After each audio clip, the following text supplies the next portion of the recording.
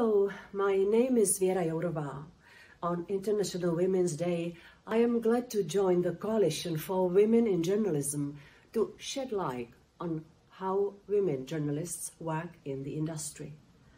I would like to share my admiration for all women journalists who are doing their work in often very difficult conditions. Women who are defending democracy, sometimes at the cost of their life, such as Daphne Caruana Galizia, I would like to pay tribute to her. The Commission is committed to improving the safety of journalists, in particular of women journalists. For the first time, we are going to present this year recommendations to Member States to make Europe a better place for women journalists. And you can rely on my support.